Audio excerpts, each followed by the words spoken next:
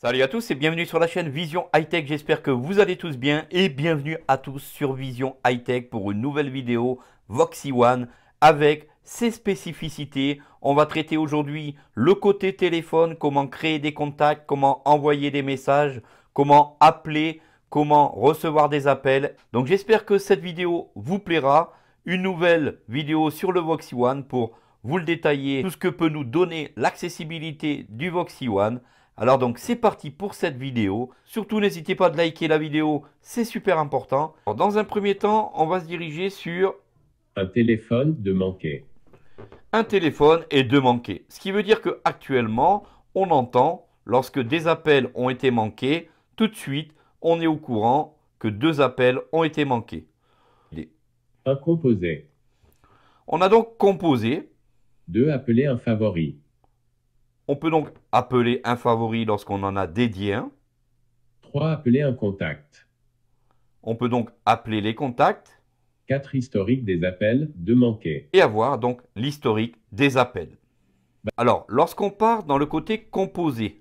Composer le numéro puis appuyer sur valider. Voilà ce qu'on le retrouve sur l'écran du Voxy One.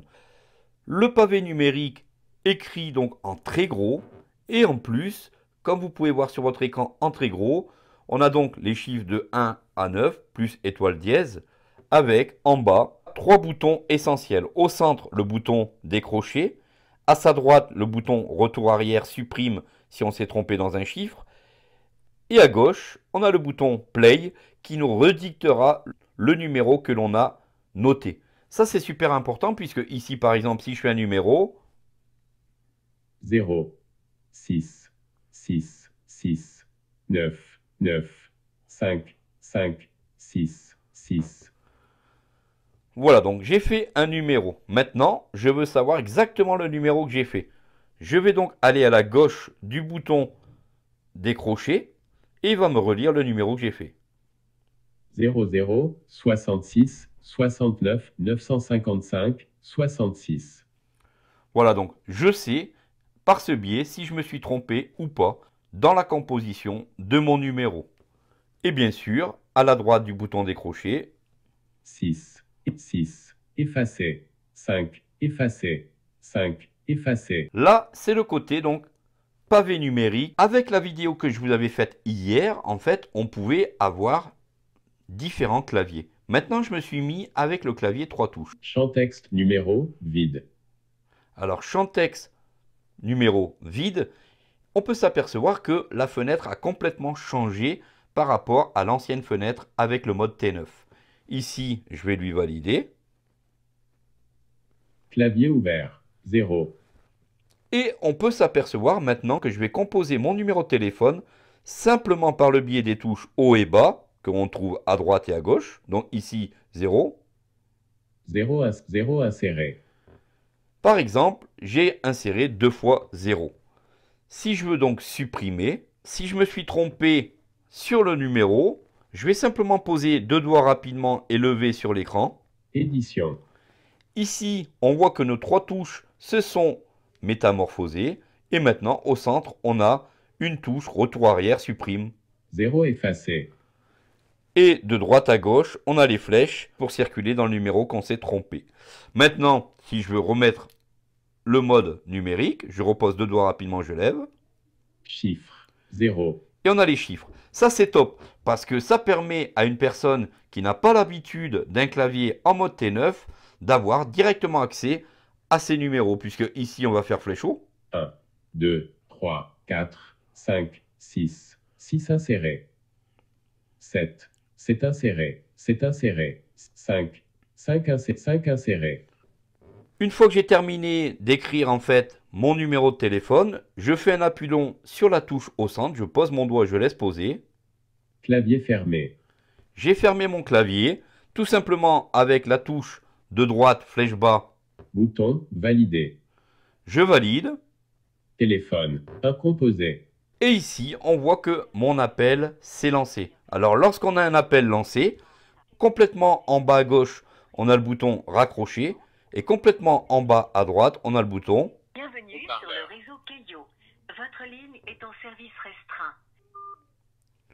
Téléphone. Un composé. Et voilà, on peut raccrocher instantanément. Dites-moi ce que vous pensez de cette technique. Deux claviers, un mode T9, un mode à trois touches, ce qui va permettre à beaucoup de gens de pouvoir composer des numéros ultra simplement. Donc on était sur le mode composé. 2. Appeler un favori. Bien sûr, si vous avez mis des favoris, on va passer directement aux appels de favoris. 3. Appeler un contact. On peut donc appeler un contact, je valide au centre. 1. Bertrand. 2. Christophe. 3. Belette. 4. Maman. Voilà donc ici, si je valide, j'appellerai un de ces numéros sans problème. Petit geste de glisser droite-gauche, Téléphone. je 3. reviens, Appeler un contact. je reviens sur la page précédente. 4. Historique des appels. 2. Manqués. Et j'ai donc l'historique des appels où je pourrai voir donc tous les numéros qui m'ont appelé et les rappeler instantanément ou même envoyer un message. Bien sûr, le petit bouton magique sur le côté gauche va nous permettre de lancer des appels rapidement sans avoir besoin d'aller numéroter. Exemple ici, appeler 06 08 08 08 08.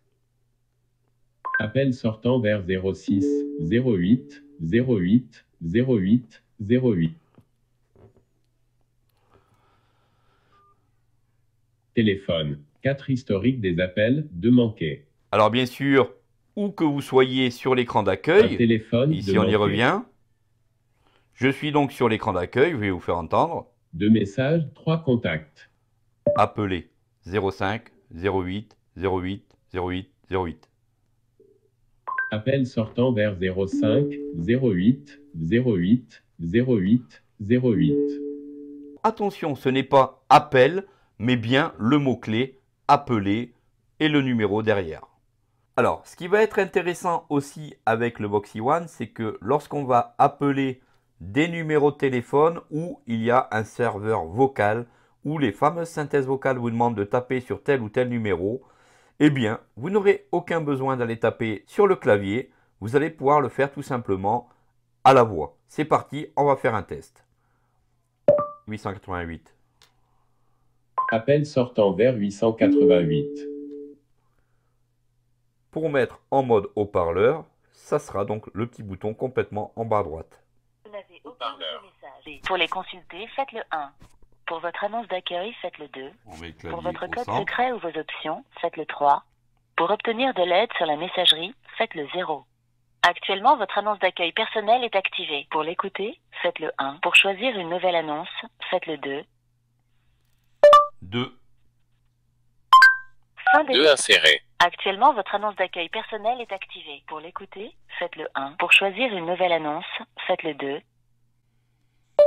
2. Pour votre annonce personnelle, votre nom n'a pas été enregistré. Pour l'enregistrer, faites le 1. Pour revenir au menu des annonces d'accueil, appuyez sur étoile. Au revoir. Appel terminé. Un téléphone 3 manqués. Voilà donc on pourra circuler vocalement à partir de ces pavés numériques sans aucun souci. Voilà donc pour la partie téléphone, tout ce que l'on peut faire vocalement avec le Voxy One. Maintenant, qui parle téléphone parle contact. Donc on va tout de suite voir comment ajouter des contacts très facilement, des noms, des numéros de téléphone, etc. C'est parti. Deux messages, un non lu. 3 contacts. On valide. Rechercher. Alors, les touches, les trois touches que je vous parle toujours sont des touches tactiles en bas. Il y aura donc un guide-doigt pour les personnes non-voyantes, mais elles sont très visibles ici en gros pour les personnes malvoyantes tout en bas. Alors, contact, on a une zone d'édition. Contact. Rechercher.